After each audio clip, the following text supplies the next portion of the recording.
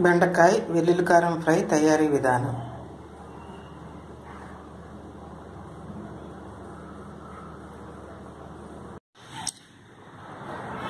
Oil వేసుకొని oil heat అయ్యాక బెండకాయ ముక్కలు చక్రాల్లో పోసుకొని వేసుకుని మీడియం ఫ్లేమ్లో ఫ్రై చేయాలి.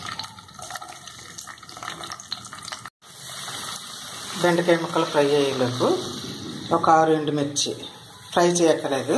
డైరెక్ట్గా ఎండుమిర్చి ఆరు ఇది పౌడర్ అయ్యాక పచ్చి కొబ్బరి కానీ ఎండు కొబ్బరి కానీ చిన్న ముక్క వెల్లుల్లి. ఇవన్నీ వన్ బై వన్ పౌడర్ చేసుకోవాలి. లైట్ బ్రౌన్ కలర్ వచ్చే వరకు ఫ్రై చేసుకోవాలి.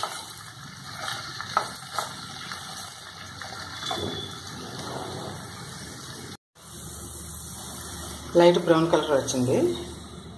పౌడరు ఉప్పు పసుపు వేసుకొని సిమ్లో పెట్టుకుని ఫ్రై చేయాలి. సిమ్లో పెట్టుకుని ఒక ఐదు నిమిషాలు ఫ్రై చేసుకోవాలి.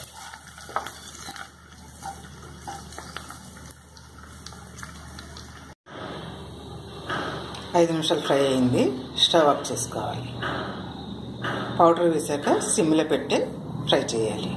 లేకపోతే అడుగుంటుంది